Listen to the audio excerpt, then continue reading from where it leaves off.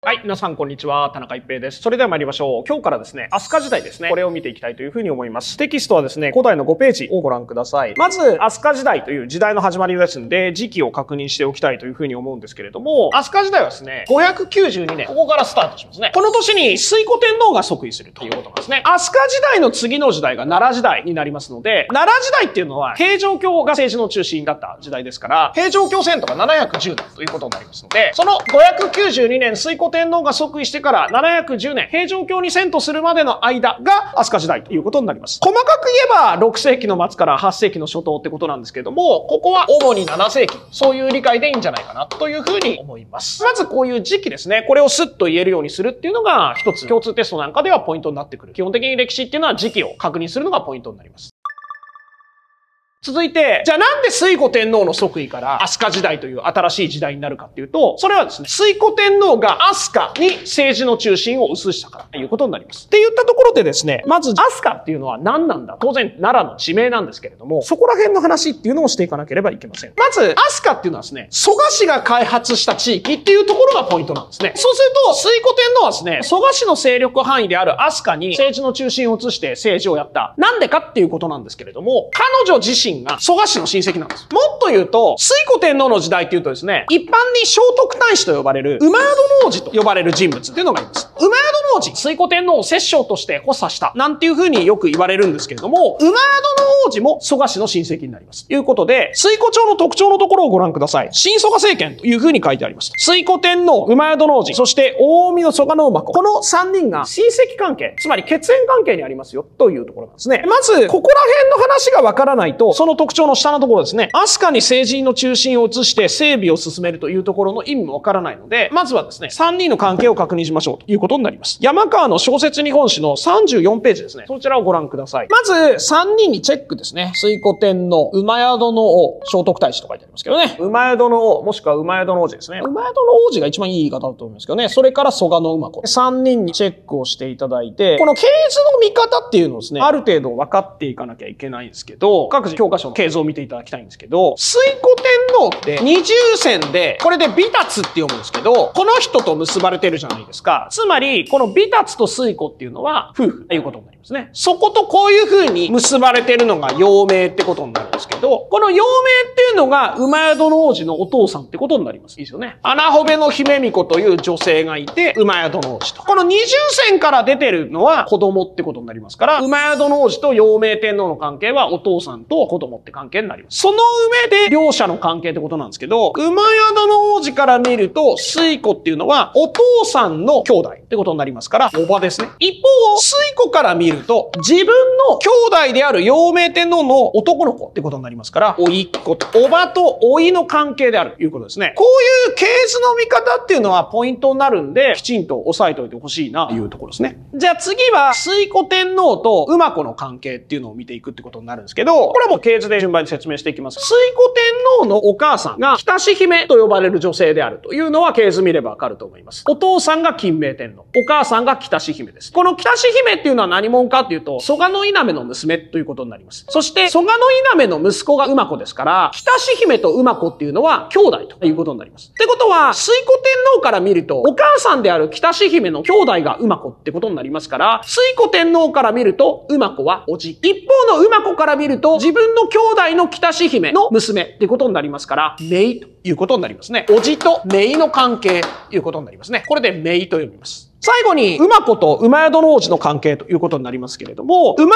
王子の奥さん、戸子のイラツメというふうに中が振ってありますけれども、この戸子のイラツメのお父さんが馬子ということになりますから、馬子と馬宿の王子の関係というのは、義理の親子と、こういうふうにケーツは読み解いていくことができます。じゃあ、こういうふうに3人が血縁関係であるということを確認した上で、まず、ケーツのポイントを喋っておきます。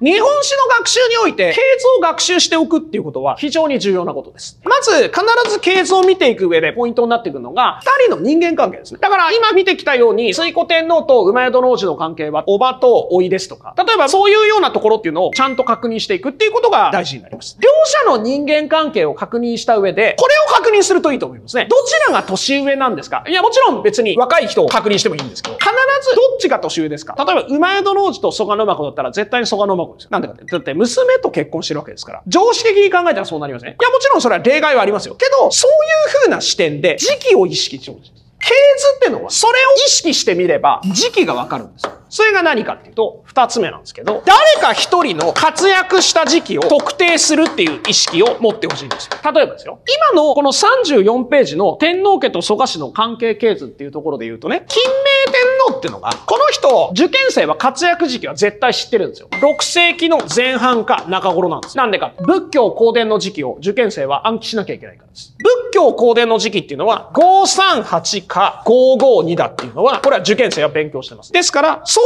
なった時ですよ。金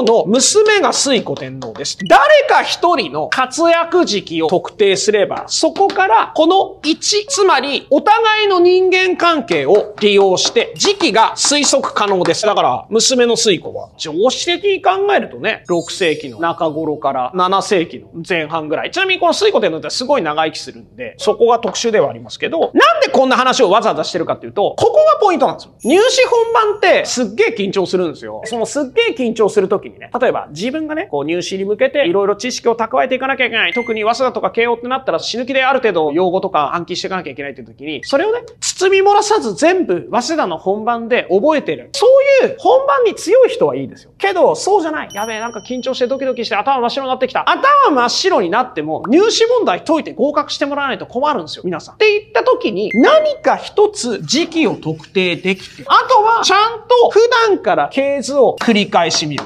予備校でいろんな学校の受験生指導しますけど、学校の先生方、系図を繰り返し見るという指導をしてない人が本当に多いですね。だから逆に予備校でいろんな学校の生徒さん教えてて、例えばね、系図を繰り返し見るんだみたいなこと言った時に、何当たり前のこと言ってんだよてめえみたいな顔で僕のこと見てる予備校の教え子とか見ると、ああ、学校の先生いい指導してんなっていうふうに思いますね。けどその数は多くはないですね。系図の見方もようわからんまま、とりあえずぼーっとしてる教え子とかがいるんだよっていうことはですね、予備校で教えてるからこそわかるところがあるんですけど、ちょっと学校の先生は意識してほしいですね。こんなもんね、一回で覚えるもんじゃないですよ。繰り返し繰り返し見て、ああ、そうやったっつって頭の中に入れていくってことなんですね。受験生の皆さんはですね、例えば天皇の順番とかこう覚えたりするんですよね。だから学校の先生とかも天皇の順番大事だぞとかって言うんですけど、天皇の順番を覚えるんだったら、セットで系図を見て、関係を入れといた方が絶対に得です。だからそこの意識を持ってください。なので、系図は繰り返し見てですね、両者の関係を入れて、あとは誰か一人の時期さえ特定できれば、そこからなんとなく推測可能ですから。だからそういうような形ですね、持ってる知識を使えるようにしましょう。いいですね。これでわかると思うんですけど、水古天皇と蘇我の馬子がおじと姪だと。いいですよね。そうなると、水古天皇よりも蘇我の馬子の方が年長者であるということが推測できるわけで、この政権におけるですね、蘇我の馬子の影響力は相当強いなっていうことになるわけですよ。そうすると、なるほど。だから、蘇我氏の勢力範囲である飛鳥に政治の中心が移るんかっていうのがわかる一方で、え？蘇我氏って何ですか？多分そういうふうに思ってる人っていうのは当然いると思うんですよ。だからそこら辺をですね、C の一番のところですね、蘇我氏の台頭というところで説明をしていきたいというふうに思います。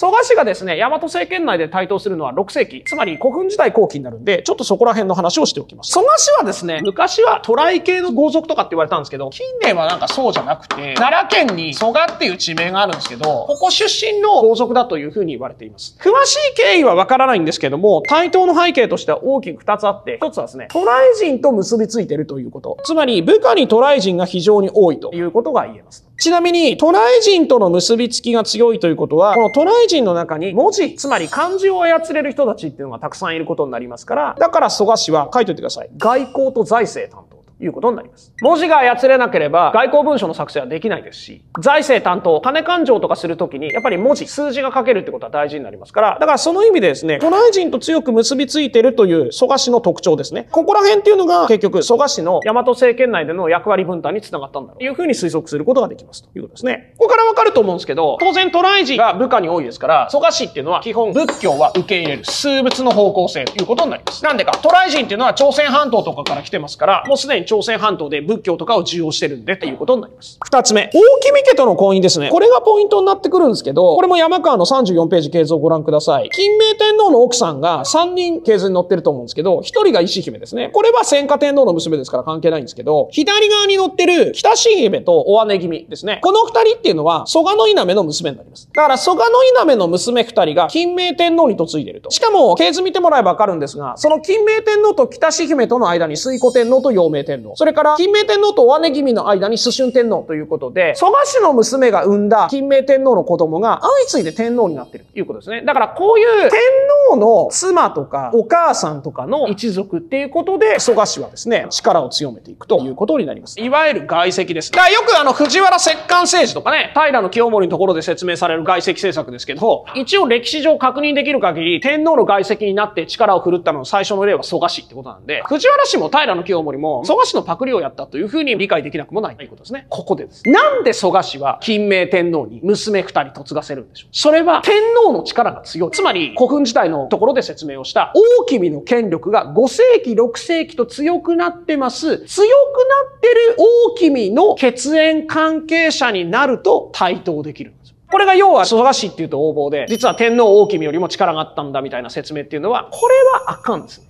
大君の力が強いから、その親戚であり、有力豪族である蘇我氏も力が強い。そういう文脈で理解しないといけないです。いいですね。日本書紀には蘇我氏って横暴な人物だ。特に蘇我のいるかですよね。最終的に中野王子によって大化の改新、一種の変の時に殺されるっていう話は、この後説明しますけれど、日本書紀の記述を100%鵜呑みにするのはやっぱ危ういですよ。日本書紀って国史ですし。しかも神話の話とかも載ってますから、どこまでが真実かがわからない部分があるんで、そこはやっぱ留意が必要だろうというふうに思いますよね。さあ、で、その蘇我氏がこういうふうに渡来人と強く結びつき、大君家との婚姻を背景に対等する中で、物の部氏と対立しますというところが一つポイントになってきますね。物の部のおこし、それから物の部の守屋という人物がそこの経過のところ、数物論争ですね。仏教を受け入れるかどうか。ちなみにこれ正確に言うと、仏教を国の宗教として受け入れるかどうか。蘇我の稲目は賛成。国の宗教にすることには反対といったのが、物ののべのおこしという人物になります。別に仏教を受け入れるかどうかではないですよ。仏教を受け入れるかどうかについては、物のべ氏だって言っときますけど、寺作ってますんで。だからその意味で言うと、物のべ氏は国の宗教にすんのはやりすぎなんじゃないのっていうことですね。なんでかっていうと、これもわかると思うんですけど、じゃあ国の宗教にしたとしますよね。担当はおそらく蘇我氏ですよ。仏教を広めていく担当は蘇我氏だみたいな形になると、蘇我氏の政権内での影響力が強まるわけじゃないですか。それがライバルである軍事担当の物のべ氏としては面白くないということですね。それから大君の後継争いですね。陽明天皇は死んだ後に争いになるんですけれども、蘇我の馬子と物の上の守屋、それぞれが候補を立てるわけですけど、これも基本蘇我氏が有利ですよね。だって、蘇我氏っていうのは、娘がもうすでに金明天皇に嫁いでいて、子供が何人かいるわけだから、その文脈で言った時に、どうしてもやっぱ蘇我氏の方が有利なんで、物の上の守屋は最終的に蘇我の馬子によって滅ぼされるということになります。この大和政権の有力な豪族である物の上の守屋っていうのが滅んだことによって、結局蘇我の馬子っていうのは、大和政権内ではかなり力の強い豪族になっていくと。だから結果のところですね。蘇我系の大君のもとで、大海の蘇我の馬子、大和政権内の最有力豪族になり、豪族をまとめる存在となる。だからもう豪族の中では特別扱いということになります。数物論争が当然この物部氏が滅んだことによって数物で決着しますので、水古天皇の時代以降ですね。基本的に仏教を受け入れられていて、広めていくという話になるわけです。だから聞いたことあると思うんですけど、例えばその影響を受けた馬宿の王子っていうのが法隆寺を建てるとか、そういう飛鳥文化っていう仏教文化の発展っていう形で繋がっていくということですね。6世紀を通じて蘇我氏が台頭してきたということですね。その蘇我氏の親戚である水古天皇が即位しましたということですね。だから、その水古天皇っていうのは、飛鳥に政権の中心を移しますということなんですけれど、じゃあ、水古天皇っていうのが女性の天皇です。あいう部分ですね。一応、実在が確認できる初の女性の天皇っていうことになるんですけど、それと政権の中心人物だった馬宿の王子、この二人っていうのは何者なんですか？例えば、女性の天皇っていうのは、日本の天皇家の歴史の中ではそんなに多くないわけですよ。そうなると、何らかの事情があったというふうに考えるのが自然ですし、そのもとで馬宿の王子という有力な王族がいたわけですけれど、この人何者なんですかという話を説明していかなければいけません。ですので、そこら辺の話は次の動画で説明していきたいというふうに思います。